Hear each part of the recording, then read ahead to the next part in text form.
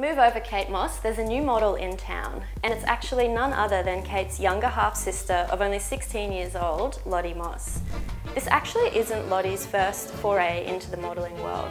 She's shot a smaller campaign for Calvin Klein, but this is her first really big one, and it's for none other than Red Valentino. I am obsessed with this campaign. It's super youthful, super fun, super vibrant, and it's actually Disney themed, and it really speaks to that younger demographic that they're going for.